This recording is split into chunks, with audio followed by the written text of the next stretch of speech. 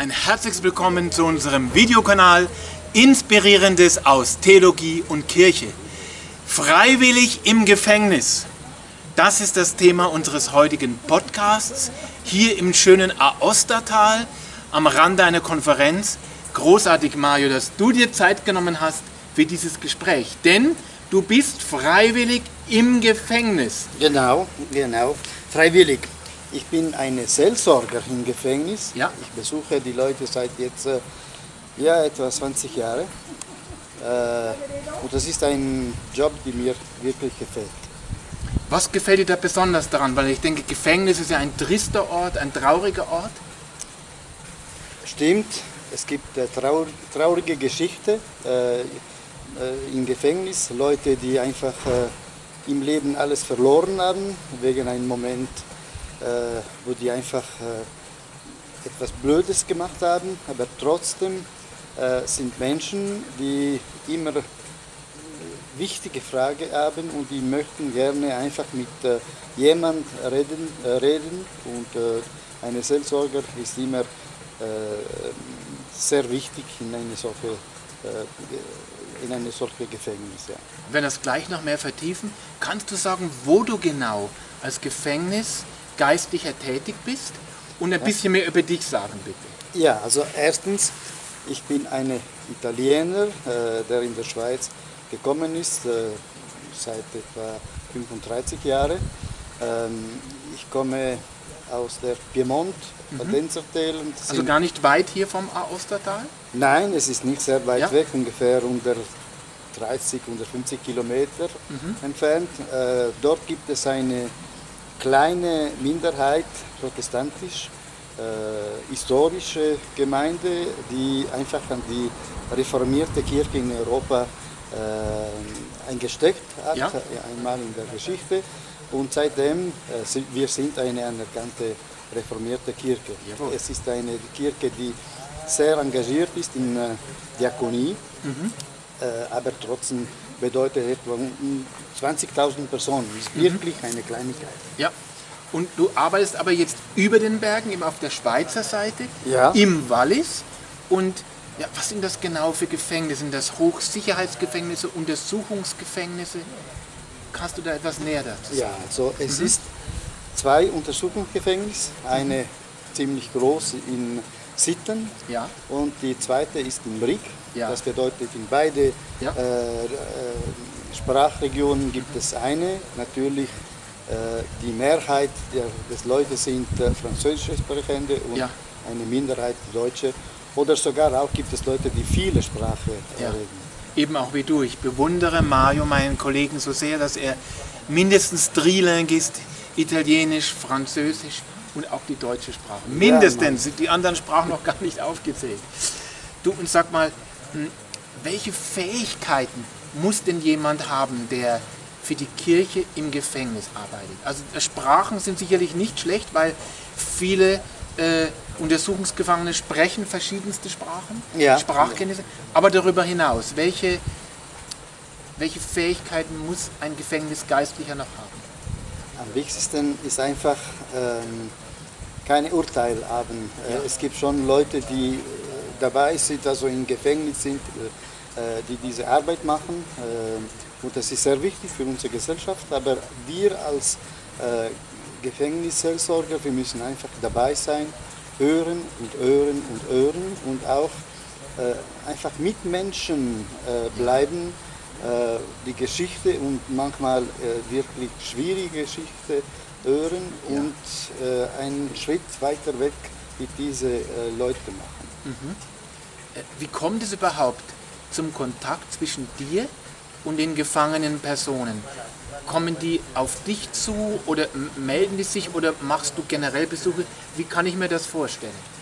Es kommt darauf an, äh, es gibt Gefängnisse, wo die Leute fragen müssen, also durch Ja. ein Blatt, die müssen ein Blatt ausfüllen und dort äh, können sie einfach äh, den Seelsorger äh, fragen und dann kommen die Leute zu mir. Ja. Ähm, und andere Gefängnisse darf ich einfach ein bisschen mehr Freiheit haben und Ja. fragen jede Zelle wollen sie einen Besuch und Ja. wenn die Ja sagen, äh, die kommen in ein spezielles Zimmer, wo Ja. dieser Besuch möglich ist. Wie ist das? Lebst du da auch mitunter gefährlich, so mit den Gefangenen zusammen zu sein oder besteht da keine Gefahr? Also ich bin im Gefängnis seit etwa mehr als 20 Jahren. Ja, freiwillig im Gefängnis, muss man dazu Ja, sagen. ja, genau, Ja. freiwillig, freiwillig. Äh, aber ich habe nie ein Problem gehabt, also Ja. Sicherheitsproblem.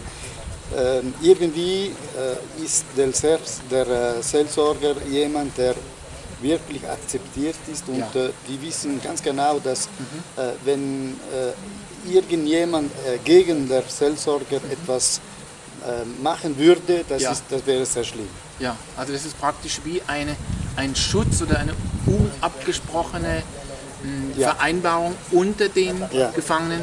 Der Aumonier, also der Gefängnisseelsorger, der, der ist geschützt. Man schützt, Man schützt ihn, genau, jawohl. Das Gespräch, das Zuhören ist sicherlich sehr, sehr wichtig, die Hauptaufgabe von dir. Gibt es sonst Wünsche, die die Gefangenen an dich herantragen? Ja, also äh, nicht für alle, aber die spirituellen Sachen sind natürlich auch Ja. äh, sehr, sehr äh, präsent. Äh, die Leute haben Zeit im Gefängnis. Ja. Und äh, in groß, die größte Teil äh, hat existenziellen Fragen. Mhm. Und die Bibel kommt auch auf den Tisch. Ja. Beim Leute, die einfach nie diese Frage äh, sich gestellt haben. Ja. Aber plötzlich wird einfach eine große Frage und die wollen einfach mit jemand ähm, damit reden. Ja, Äh, spannend. ja, also mehr als draußen, würde ich sagen. Unglaublich. Und, also es ist jetzt, soll jetzt nicht despektierlich sein, die Gemeinde läuft praktisch nicht fort im Gefängnis, oder? Nein, also Ja. wirklich, äh, es Ja. gibt wirklich große Fragen und existenzielle Fragen. Wir haben wenige Möglichkeiten, also ich selber, wenige Möglichke Möglichkeiten, draußen der Gefängnis äh, Ja. solche Fragen zu, Ja. äh, zu antworten. Gibt es auch so Wünsche, die du eben nicht erfüllen kannst? Also Ja. Kontakt herstellen zu bestimmten Leuten draußen, zu Familienangehörigen oder, oder machst du das auch? Nein, also Nein. es ist nicht möglich. Also äh, im Gefängnis äh, ist wirklich eine äh, geschlossene Welt. Ja, in einem Untersuchungsgefängnis gibt es keine Kontakte äh, am meisten mit anderen Leuten und ich kann natürlich nicht mit jemand über eine Gefangene reden, weil äh, der, der Gefangene ist natürlich geschützt. Man muss nicht wissen, dass er im Gefängnis Ja. ist und deswegen Okay. sind wir ähm, an eine Geheimnisdienst. Äh, ja, Schweigepflicht. Ja, ne? ja, genau. Ja. Du, jemand, der jetzt so oft im Gefängnis besuchsweise ist, was hältst du von Sätzen wie, ah, im Gefängnis, da ist es ja wie im Hotel. ja, Was kannst du da sagen? Es gibt bessere Hotels, sowieso. ähm, Ja.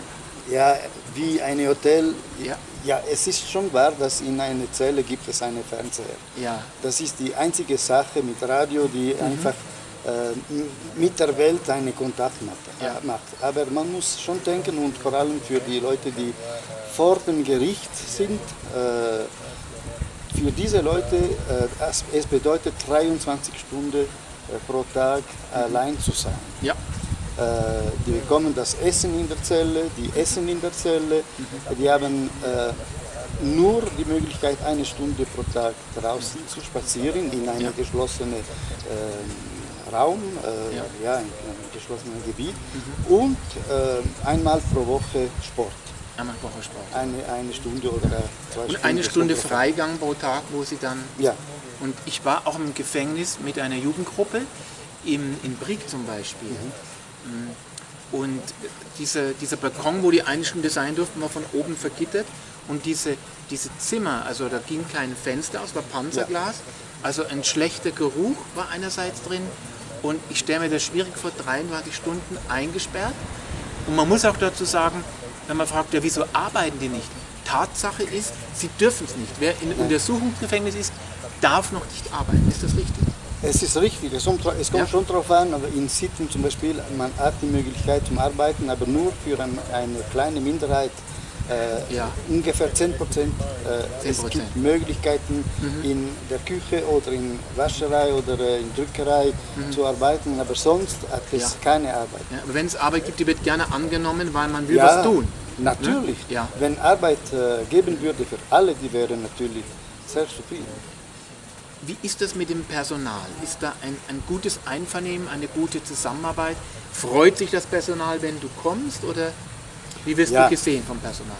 Also es hat schon eine ziemlich lange Zeit gedauert, bis eine Vertrauensbeziehung Ja. äh, gibt. ne? Weil Ja. am Anfang war äh, der Seelsorger einfach derjenige, der Zigarette äh, mitgenommen hat und Ja. äh, einfach die Messe gemacht hat. Das Ja. waren am Anfang Priester, die in Gefängnis gegangen sind.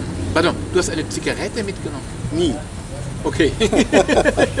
Nie. Ja. Nein, jetzt ist ganz anders. Ganz anders, ja. äh, professionell. Wir, Ja. wir sind äh, einfach ausgebildet für, Ja. äh, für Öhren und auch äh, dazu eine gute, ähm, wie kann man sagen, äh, Gutes Einvernehmen auch? Gute Beziehung? zu ja, gute Beziehung ja? Mhm. zu haben natürlich.